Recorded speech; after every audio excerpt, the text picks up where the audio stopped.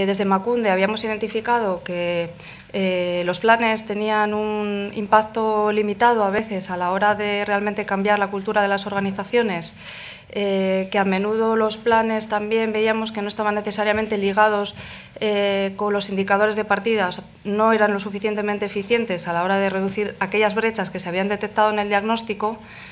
y que también el asesoramiento que podíamos hacer desde Macunde y el apoyo pues era limitado porque al final también pues eh, contamos con los recursos que contamos y, el asesoramiento y el apoyo pues de una a una eh, no era necesariamente el más eficiente ¿no? y podíamos llegar pues hasta donde hemos llegado hasta ahora. Eh, por parte de las entidades sí que hemos recibido a lo largo del, pues bueno, de los últimos años esa necesidad de compartir, de conocer qué están haciendo otras, de aprender de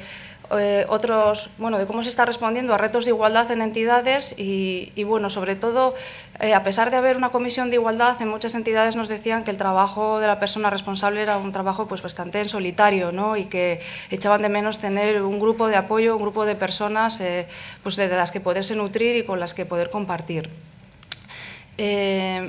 Vista la situación, pensamos que bueno, eh, la, posibilidad de generar una red entre todas las entidades podía ser un instrumento eh, interesante, eh, una oportunidad para aumentar el impacto que los planes tienen en las empresas, bien hacia adentro y bien hacia afuera, como ha dicho Izaskun Landaida.